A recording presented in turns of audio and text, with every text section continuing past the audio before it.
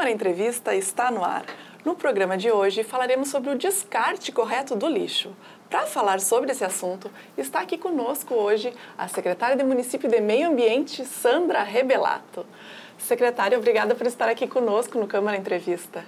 Eu que agradeço a oportunidade de estar novamente nessa casa, onde atuei durante oito anos e sinto uma saudade imensa de tudo que realizamos aqui, convivemos, enfim. Muito obrigada, eu é que agradeço. Sandra Rebelato, que foi nossa vereadora aqui, né? Lembrando para o nosso telespectador. Sim, vereadora durante dois mandatos. Que bom estar aqui com você. Uh, para começar, assim, o que, que, pode ser considerado lixo? É, nós uh, temos desde 2010 uma legislação que é a Lei uh, Federal 12.305, que organiza o, o nosso descarte da, do material considerado resíduo sólido. Nós comumente chamamos de lixo, mas o nome técnico é resíduo sólido. O resíduo sólido é constituído por todos aquelas, é, é, aqueles produtos que não fazem mais, é, não se fazem mais necessários para umas pessoas, mas que são fonte de renda para outras pessoas.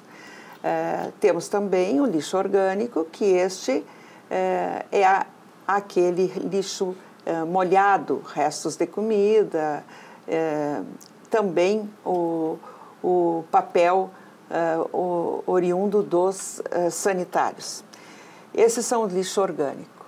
E este lixo orgânico, este resíduo orgânico, é aquele destinado para os containers da zona containerizada ou então para aqueles dos uh, invólucros, dos saquinhos plásticos que são colocados uh, na frente de todas as residências na zona não containerizada. Este é o trabalho de, uh, das empresas que a prefeitura contratou para que fizessem a coleta. Então, nós estamos em Santa Maria com é, três empresas que cuidam desta parte.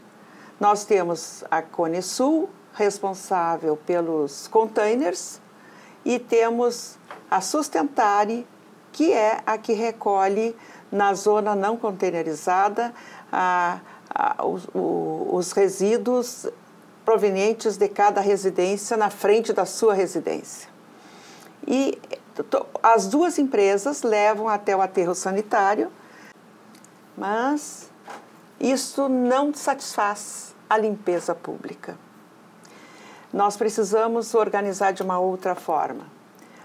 É, falam muito na coleta seletiva, mas a coleta seletiva é, um, é, uma maneira de é, correta, é a maneira correta, mas nós em Santa Maria estamos muito, muito no comecinho deste trabalho. É, instituímos no ano passado os 50 containers laranja é, estrategicamente colocados na zona que circunda a zona containerizada da zona é, da coleta comum. Para que, que, que nós pensamos? para iniciarmos a organização dos lares para que dentro das suas casas, dentro das suas instituições, levem até estes contêineres laranja para que nós, ao final, fizéssemos uma coleta única para estes contêineres e levássemos até a ASMAR, que é a única associação de selecionadores devidamente licenciada. É, fizemos isso, tivemos algumas é, oportunidades de coleta é, experimental e, infelizmente, encontramos nestes nossos 50 contêineres laranja, é, inicialmente 20 contêineres com, com produtos orgânicos colocados ali. Destes 20, contaminou todos os outros 50. Na, instituímos uma é, instrução, uma, uma, levando conhecimento para a redondeza da, das pessoas que circundavam os containers. É, uma equipe de cinco funcionários diariamente fizeram visitação em todas as casas, em todo o comércio. É, na segunda semana, 11 containers com problemas. É, ficamos muito preocupados em como mudar essa situação, porque teríamos que colocar um, um agente é, público em cada container, é, o que é impossível por, por falta realmente de pessoal. E o que, que restou? Não conseguimos ainda entregar na Asmar nenhuma é, coleta, nenhuma coleta única des, desses 50 containers. Mas, em contrapartida, nós encontramos uma clientela muito, muito é, feliz por quanto é, estão ali dispostos à disposição é, dos, dos catadores individuais.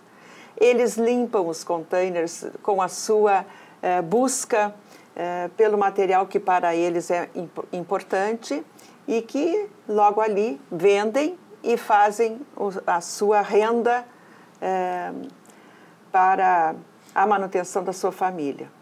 Os containers laranja sobram muito pouquinho é, no final da coleta, é, muito pouquinho produto. Por quê? Porque esses, essas pessoas que nós temos uma estimativa de serem 1.500, é, estão fazendo a busca deste material que eles necessitam nos contêineres laranja. Quer dizer que os catadores também estão ajudando na, na preservação do meio ambiente, né? Os Porque esse resíduo não está indo para o lixão, né? popularmente chamando. Com, com certeza, ah, esses selecionadores são muito importantes nesta cadeia da coleta seletiva. Eles precisam se organizar, eles precisam ter uma associação.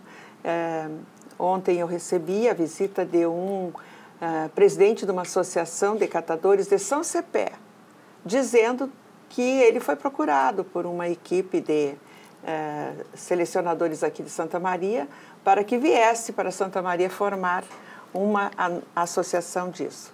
Gostei muito da notícia e pedi a ele que se empenhasse para que fosse feito isso mesmo.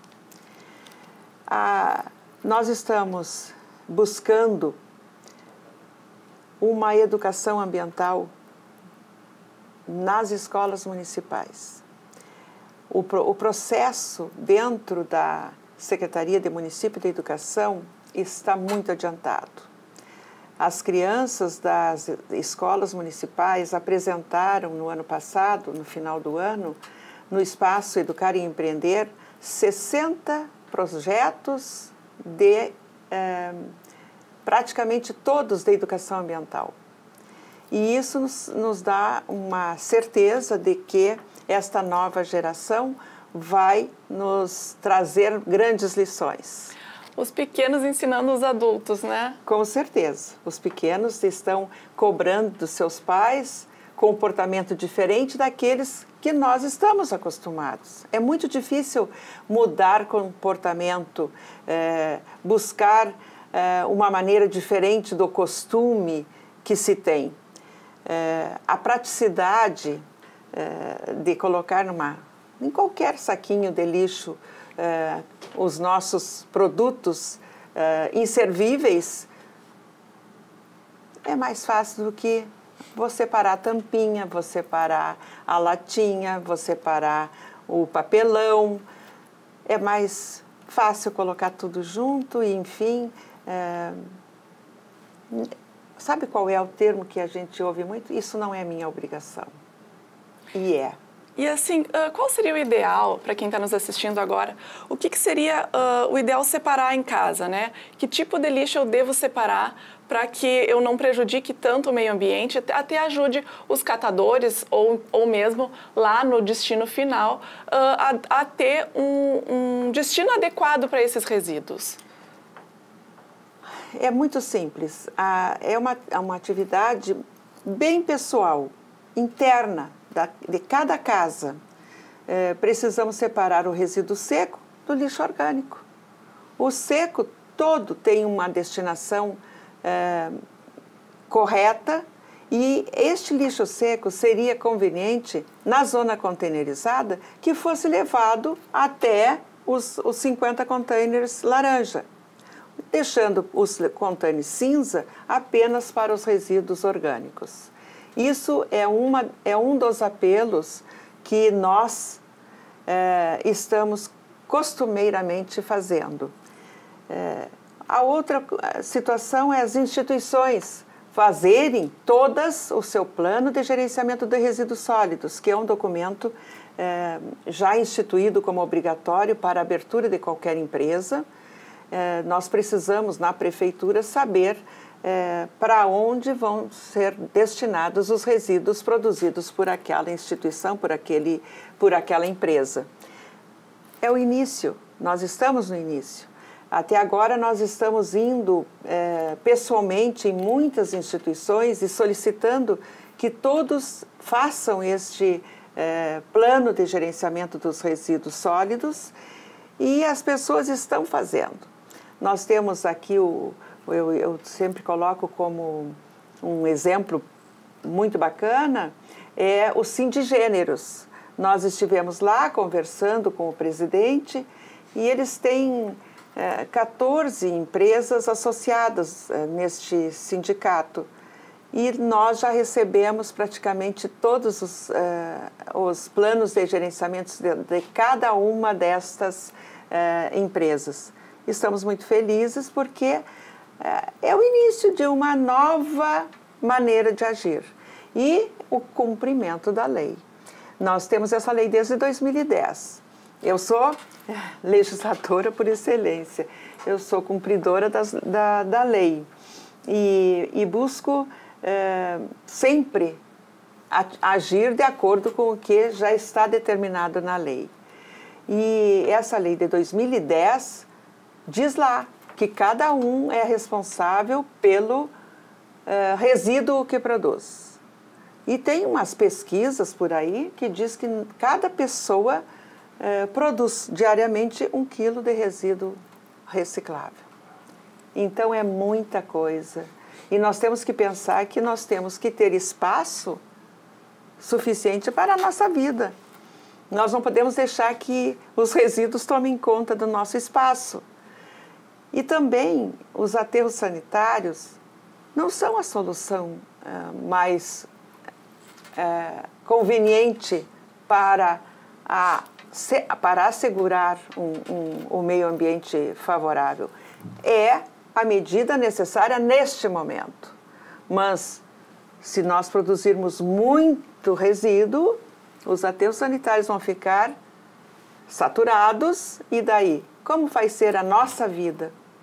Nós precisamos nos conscientizar uh, desta situação e nos sensibilizar no sentido de um, um é, cigarro que se coloque na rua é prejudicial.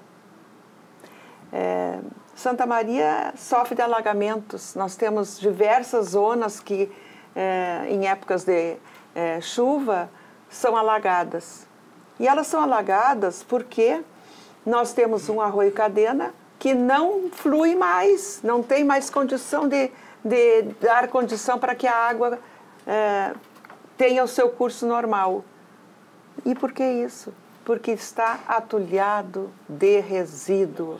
Sofás, geladeiras, televisões e tudo isso entope a canalização, entope o curso da água do, do Cadena e nós estamos sofrendo terrivelmente porque as casas dos nossos munícipes são todas alagadas. Em virtude do quê? da má, do, da má destinação dos resíduos sólidos. Secretária, a gente precisa fazer um rápido intervalo, mas voltamos falando sobre o destino correto desses materiais, de um sofá, de uma geladeira, de um fogão, onde a gente destina. A secretária vai nos contar daqui a pouco. Não saia daí.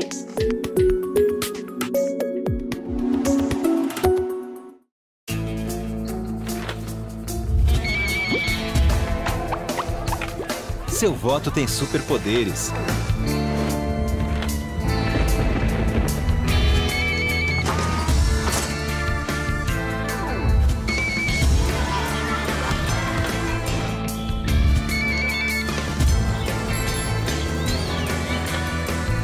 Procure um cartório eleitoral, tire o seu título e faça a diferença.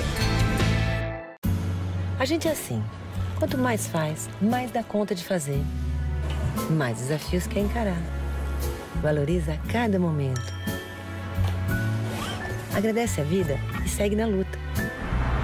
Sem medo de seguir em frente. A gente sabe que não usar o cinto é perigoso, mas acaba se arriscando. Até que um dia você sabe. A gente sabe o que tem que ser feito no trânsito. Basta fazer.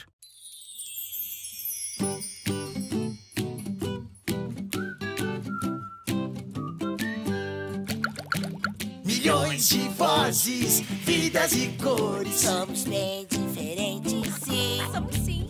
Mas com direitos iguais, a gente segue na paz. Viver em democracia, assim é.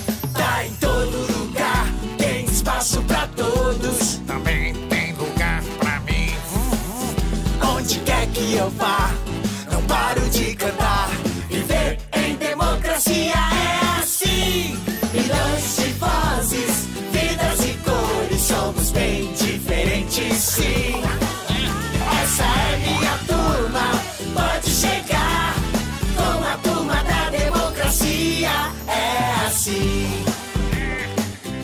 Democracia é todo dia. Justiça eleitoral.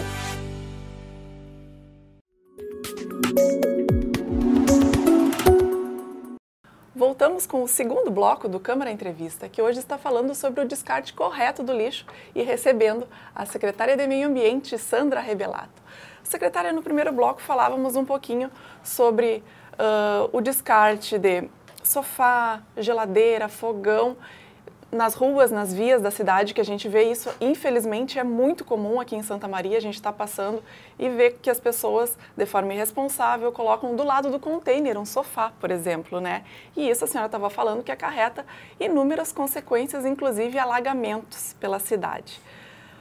Se eu tenho um sofá que eu não uso mais, né? Eu troquei, não, não tenho mais destino para ele, o que que eu faço?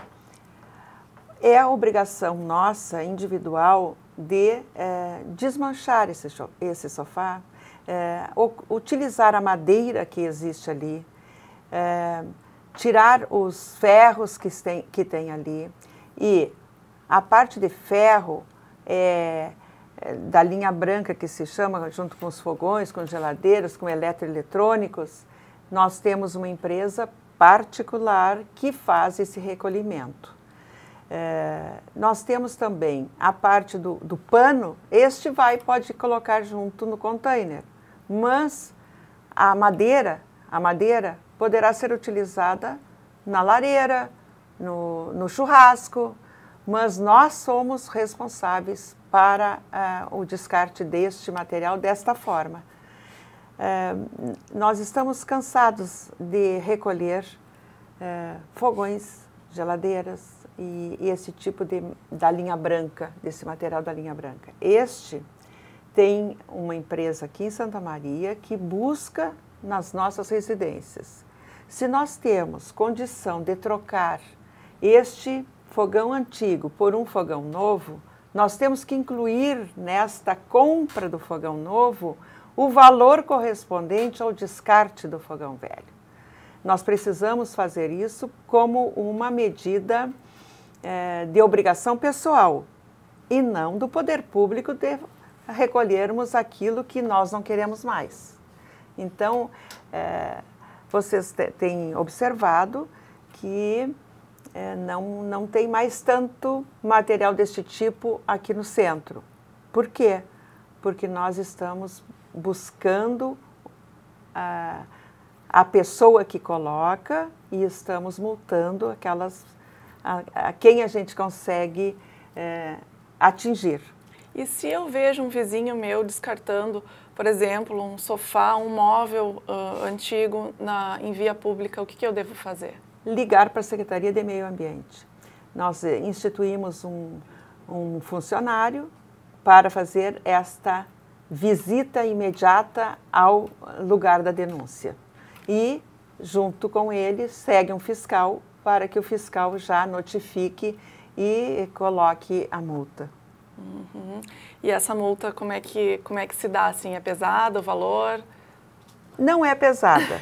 é uma multa educativa. É, não é pesada, mas é constrangedora. Então, eu acho que é a maneira que nós estamos, é, infelizmente, tendo que utilizar. O que nós queremos é que as pessoas se sensibilizem e não façam isso.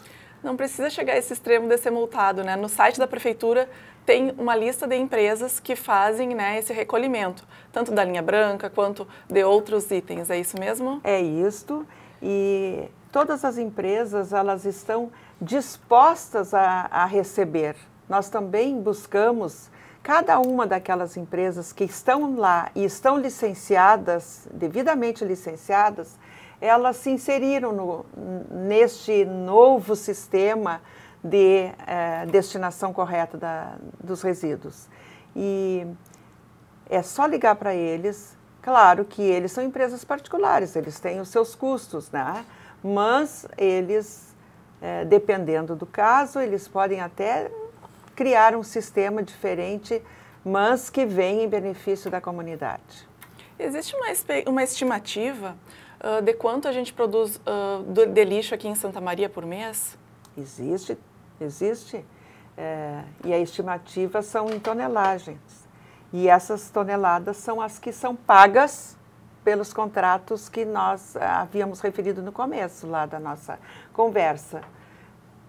E, infelizmente, esses três contratos, eles exigem um valor altíssimo da, do orçamento do município.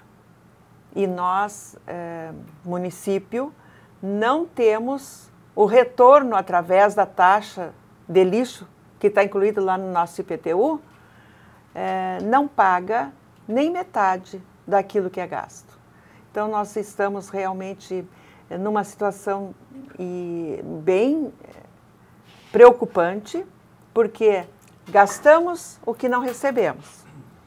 E, vamos, estamos estudando, junto com os nossos técnicos, uma maneira de colocarmos a taxa do lixo correspondente e relativamente ao gasto eh, feito efetivamente. Então, se seguirmos nesse sentido, a taxa vai aumentar. Vai precisar aumentar. Para não aumentar, nós temos que nos sensibilizar e não produzir o, o resíduo ou destinar corretamente. E o que, que eu, enquanto consumidora, posso fazer? Que hábitos eu posso ter diferente para diminuir né, esse, essa quantidade de resíduos que eu produzo diariamente? Sabe que isso é uma preocupação que cada um de nós tem que ter. Desde ir ao mercado e comprar um produto com menos embalagens. É uma ação simples, mas que nos ajuda. É, colocarmos todos as, os nossos papeizinhos e, enfim, todos num, num, num determinado recipiente. Aqui na Câmara, em 2011, é, quando eu exerci a presidência, nós colocamos em todos os gabinetes dos vereadores uma sacola uh, para que colocassem os papéis não uh, mais utilizáveis. E Asmar, uma vez por semana, vem aqui na Câmara buscar. Não sei se ainda continua esse sistema, mas é assim que se faz a distribuição, a, aliás, a destinação correta. Cada um de nós tem condição de de buscar alternativas de produzir menos resíduo. E, e Ah, mas é só um. Não. É um, mais um e mais um, e nós vamos conseguindo diminuir a, o depósito desses resíduos no aterro sanitário. Com isso, nós economizamos.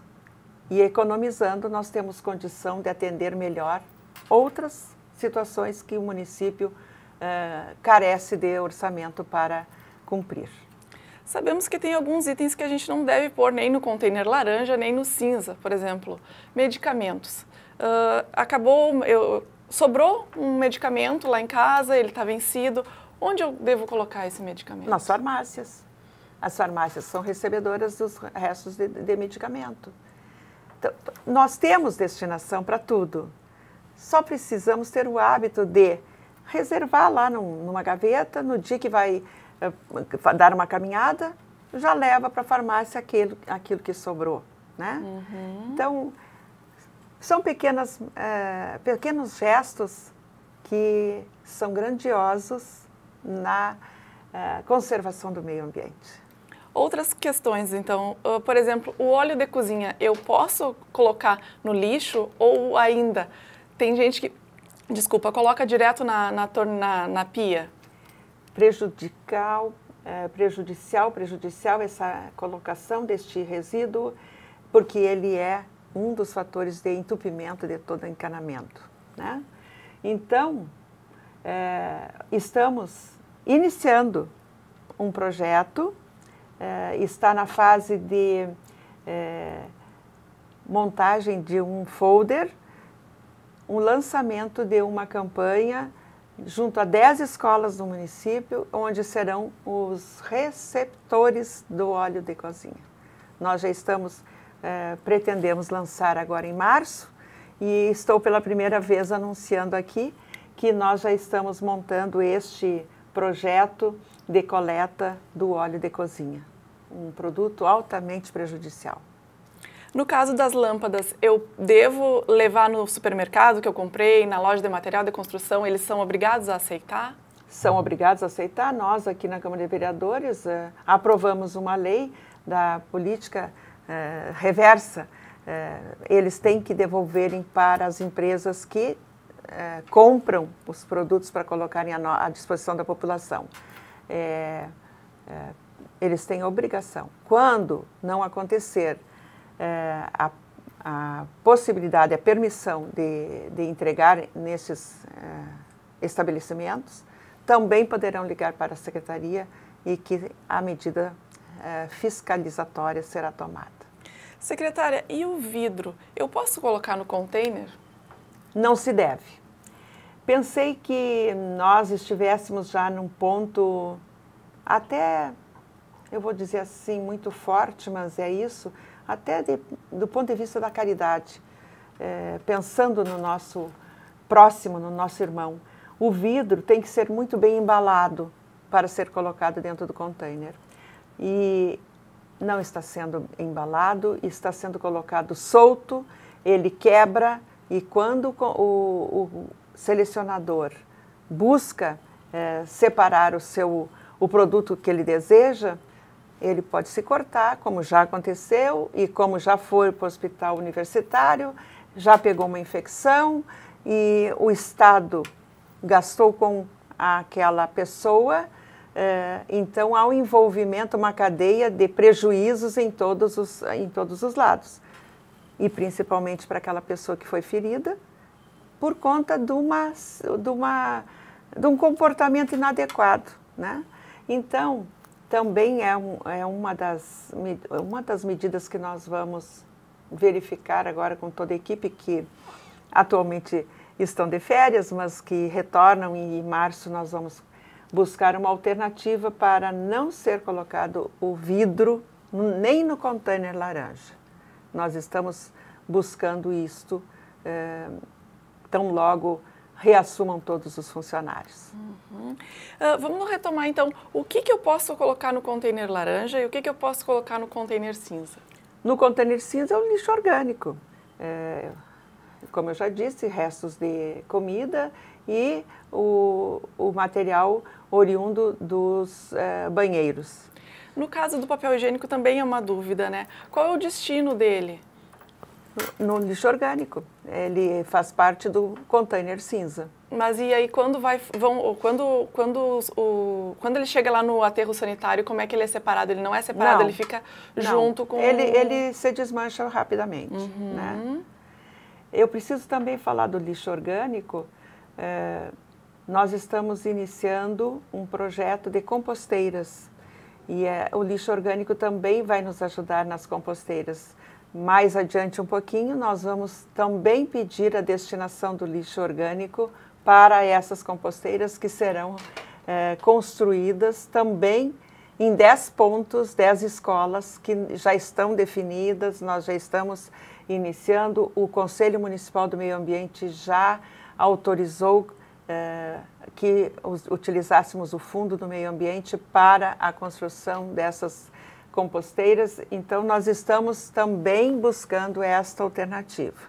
No, lixo, no container laranja é o lixo seco. Papel, papelão, eh, latinha, eh, plásticos. E eu devo lavar essas embalagens antes de colocar ali ou não é necessário? Ah, sim.